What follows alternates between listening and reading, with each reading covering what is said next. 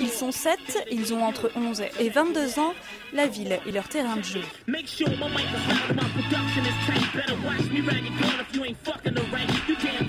Entre parcours et acrobatie urbaine, les membres de Street Jump sont les Yamakasi en herbe de la ville rose. Ce qui me plaît, c'est que je me sens libre. Je, je sais n'importe où. Je me sens Superman. Yacine a créé le groupe il y a près d'un an.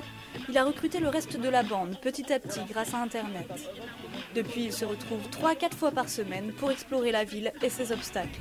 Quand on est en l'air, en fait, ça me donne une adrénaline. euh, Je ne saurais pas comment expliquer, mais enfin, ça fait du bien. On est en l'air, on se demande quand on va atterrir, on doit tout calculer, pour pas se faire mal, enfin, se faire le moins mal possible, ça dépend de la hauteur. Et j'ai fini l'école, je fais mes devoirs et après je m'entraîne. Je veux continuer à en faire. C'est ma passion et j'en j'en fais pendant beaucoup de temps. Ils ont beaucoup évolué euh, dans le sport, mais aussi euh, personnellement. Ça leur a fait beaucoup de bien. Il n'y a pas d'esprit de compétition. C'est un esprit d'entraide. Quand il y en a un qui sait faire quelque chose, il va l'apprendre aux plus jeunes. Quand on essaie de nouveaux trucs, des grands sauts, il faut vraiment se concentrer. Des fois on se lance, des fois on se lance pas, mais c'est vrai qu'avant un grand saut, on a toujours un, peu peur. Parce que si on n'aurait pas peur, euh, c'est là que ce serait dangereux, parce qu'on est entraîné n'importe quoi. Mais il y a parfois quelques ratés. C'est dangereux, mais c'est comme le foot. Le foot, pareil, c'est dangereux. C'est qu'il faut, faut être prudent pour faire le, le parcours. C'est euh, c'est comme n'importe quel sport. N'importe quel sport, s'il y, a- il y a un danger.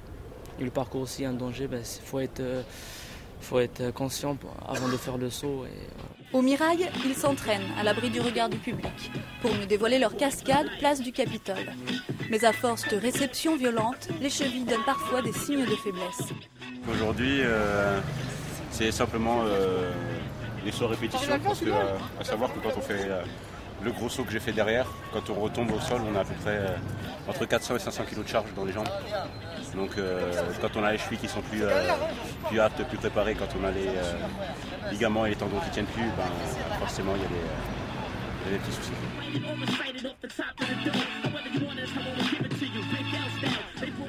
Encore méconnu, le parcours ne possède pas de véritable structure de formation. L'équipe en tout cas prépare les qualifications de l'émission Incroyable Talent, un moyen peut-être de se faire remarquer, mais aussi pourquoi pas de donner un coup de projecteur sur ce sport urbain.